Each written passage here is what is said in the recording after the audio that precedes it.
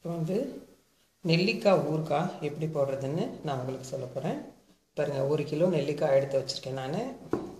இந்த ஒரு கிலோ நெல்லிக்காவை நல்லா அலசிட்டு பாருங்கள் அலசிட்டு ஆவியில் வச்சு எடுத்திருக்கேன். இது இப்படி உரிச்சா அப்படியே அழகாக உறிஞ்சிடும் பாருங்கள் பாருங்க அழகாக வந்துடுச்சு.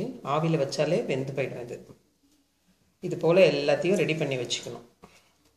இதை பாருங்கள் ஒரு கிலோ நெல்லிக்காய் எடுத்து வச்சுருக்கேன் நான்.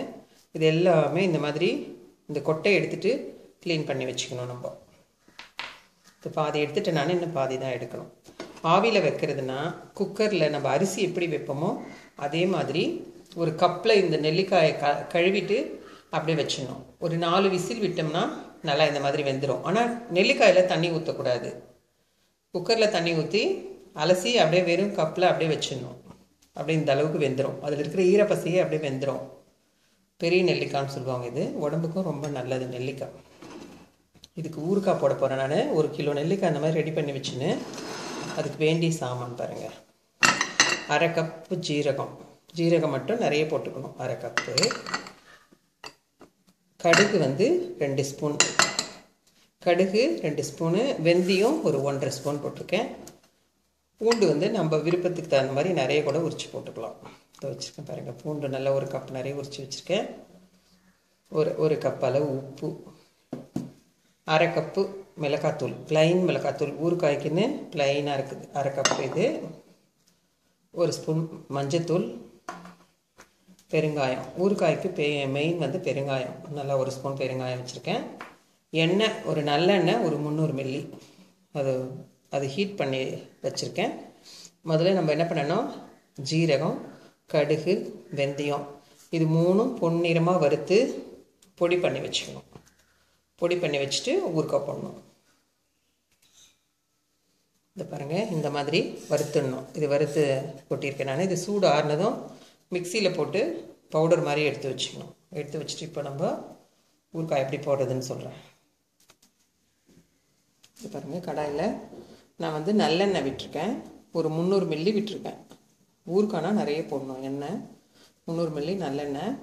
நம்ம பூண்டு உரித்து வச்சுருந்தோம் இல்லையா? அதுவும் இதில் போட்டுடலாம். நல்லா சூடாக இருக்கு. போட்டால் அப்படியே பொரிஞ்சிடும்.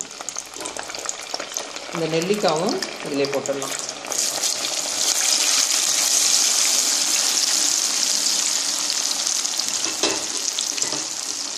நம்ம கொட்டை எடுத்து வச்சுருக்கிற நெல்லிக்காவை நல்லா இந்த எண்ணெயிலே ஃப்ரை பண்ணணும். பாருங்க.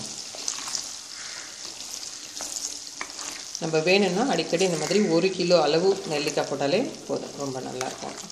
இது அப்படியே இந்த எண்ணெயிலே கொஞ்சம் நேரம் ஃப்ரை ஆகணும். நல்லா வறுபட்டுடணும். இந்த நெல்லிக்காவோட இது நல்லா வறுபட்டப்புறம் அந்த பொடியெல்லாம் போடணும். பாருங்க. இன்னும் நல்லா கலரே மாறிடும் இது. கொஞ்சம் கலர் மாற வரைக்கும் ஃப்ரை ஆகணும்.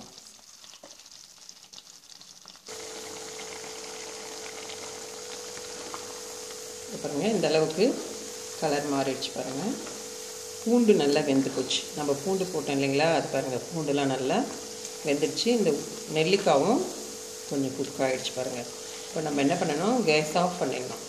கேஸ் ஆஃப் பண்ணிவிட்டு நம்ம இதில் மஞ்சத்தூள் போட்டுக்கணும்.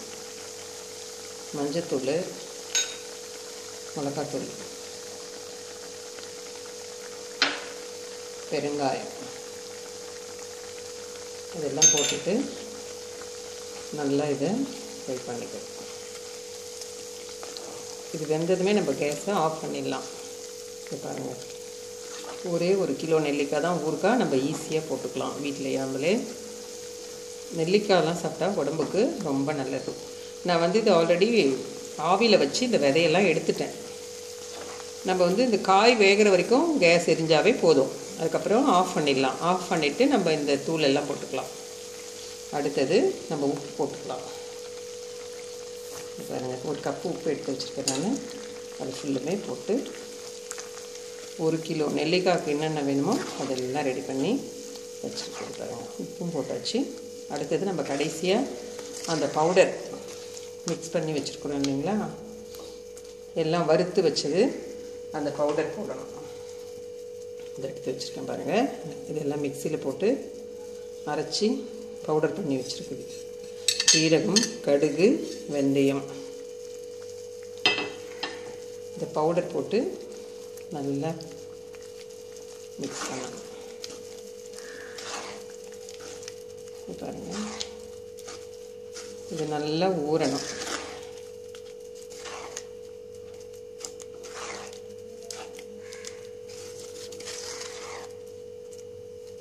நெல்லிக்காய் ஊறுகாய் ரெடி இது நம்ம ஒரு ஒரு ஒரு நாள் ஊறுனா கூட போதும். ஒரு நாள் ஊறுனா போதும். ஏன்னா எல்லாமே குக் ஆகிடுச்சி அதனால் அந்த உப்பு காரம் எல்லாம் போய் அந்த காயில் வேக வச்ச காயில் போய் எல்லாம் ஸ்ப்ரெட் ஆகி இது பண்ணுறதுக்கு ஒரு நாள் ஊறினாவே போதும். இது பாருங்கள் ஊறுகாய் ரெடி நெல்லிக்காய் ஊறுகாய் ரெடி எண்ணெய் வந்து நான் முந்நூறு மில்லி போட்டிருக்கேன். எண்ணெய் வேணாம் அப்படின்னு சொன்னால் இன்னும் கொஞ்சம் கம்மியாக கூட போட்டுக்கலாம். ஆனால் ஊறுகாய்னா எண்ணெய் இருந்தால் தான் ஊறுகாய் அழ- நல்லாயிருக்கும். பார்க்குறதுக்கும் நல்லாயிருக்கும் டேஸ்ட்டாகவும் இருக்கும். நம்ம போட்டிருக்கிற காரம் உப்பு அதுக்கெல்லாம் வந்து இந்த எண்ணெய் வந்து கரெக்டாக இருக்கும். நெல்லிக்காய் ஊறுகாய் ரெடி.